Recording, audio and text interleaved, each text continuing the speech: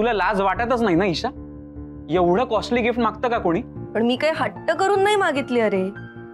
ही ring तिथे ठेवली होती मला आवडली. मी आपली सहज आजींना दाखवली त्यांना सुद्धा आवडली. त्यांनीच मागे लागून मला ही घ्यायला लावली. त्यामुळे आमची शॉपिंग एकदम पाच मिनिटात झाली हो की नाही आजी? अरे हो अनिश मीच तिला म्हंटल घे ही अंगठी. ईशा आता ही अंगठी नीट जपून वापर. आपण एखादी आवडती गोष्ट घेतली की त्याची व्यवस्थित काळजी घ्यायला हवी. आजी मी ना आता ही रिंग कधी काढणारच नाही. म्हणजे हरवण्याचा प्रश्नच येणार नाही. अग म्हणजे काय चोवीस तास ती अंगठी बोटात घालून ठेव असं नाही म्हणायचंय मला. जेव्हा केव्हा काढशील तेव्हा नीट कपाटात ठेवत जा. तिला सांगून काही उपयोग आहे का आजी? तिला कशाची किंमत नाही. चार दिवसात रिंग हरवते की नाही बघ. तुला माझ्याबद्दल कधी चांगलं बोलता येत नाही का रे? जर चार दिवसात ही रिंग मी हरवली नाही तर काय देशील? काही नाही. रिंग सांभाळून काही उपकार नाही करणार आहेस माझ्यावर. अरे पण तू अनिश अनिश. आपलं जायचंय ना? चल निघूया. तुम्ही येताय नितीन अंकल? अरे असं काय करतोयस? मी कालच सांगितलं ना तुला. चल निघूया. हो. आजी अरुंधती मॅमच्या क्लासचं उद्घाटन आहे आज.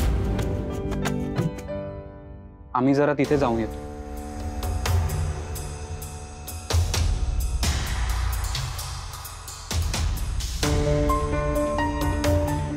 तू येणार आहेस का ईशा? छे छे. मला काही इंटरेस्ट नाही तुम्ही जा. तुझ्याकडून हेच एक्सपेक्टेड होतं मला. चला नितीन सर आपण निघूया. एक मिनिट. हे दे अरुंधतीला. तिच्या क्लासची सुरुवात सरस्वतीच्या आशीर्वादाने होऊ दे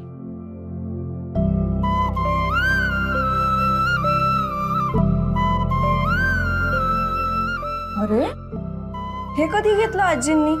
मला काही सांगितलं पण नाही. बघू काय आहे तर अरुंधती मॅमसाठी आहे ना? त्या बघतील. हं? चालायचं चल. तुझ्या आजींच्या मनात नेमकं काय काही कळतच नाही रे. त्यांनी आईला इथे राहू दिलं नाही. त्यांना ती डोळ्यासमोर सुद्धा नकोय. आणि आता तिच्यासाठीच गिफ्ट पाठवतात. नक्की काय रे तुझ्या आजींच्या मनात?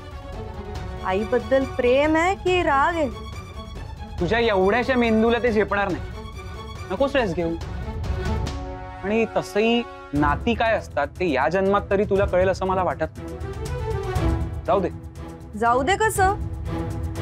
हे घर जर त्यांनी आईच्या नावावर केलं तर? मग तर चांगलंच आहे. हे घर अरुंधती मामनाच मिळायला हवं. त्यांचाच हक्क आहे या घरावर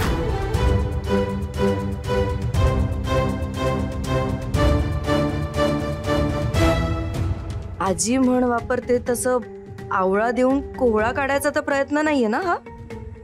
म्हणजे मला या अंगठीवर खुश केलं आणि हे घर आमच्याकडून काढून घेऊन आईला तर देणार नाहीत ना आजी?